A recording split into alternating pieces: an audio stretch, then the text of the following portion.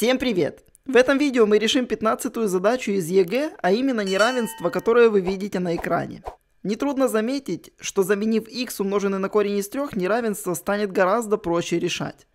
На этом этапе наша задача перенести все в одну сторону и записать под одним знаменателем.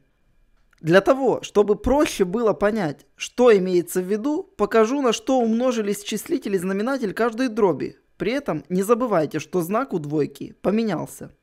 Записав всю алгебраическую сумму как одну дробь, раскроем скобки и получим неравенство, где в числителе написана парабола с ветками вниз, а именно минус t квадрат плюс 21t минус 90, а в знаменателе парабола с ветками вверх, t минус 3 умножить на t минус 9.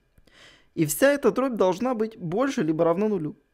Умножив обе части неравенства на минус 1, поменяем знак неравенства Таким образом, успокоив учителей, которые ненавидят видеть отрицательный коэффициент перед t в квадрате. Сейчас видно, что для последующего решения необходимо разбить числитель на множители. Понимая, что это можно сделать, найдя корни t квадрат минус 21t плюс 90, найдем дискриминанты, воспользовавшись формулой поиска корней, увидим, что 15 и 6 обнуляют его. Поэтому, сделав всю черную работу, получаем простейшее неравенство – Нарисуем числовую прямую для t и отметим на ней все точки, которые обнуляют или числитель, или знаменатель дроби неравенства. Так как тройка и девятка из-за знаменателя являться решением не могут, выколем их. Нетрудно видеть, что для больших t дробь будет принимать положительное значение.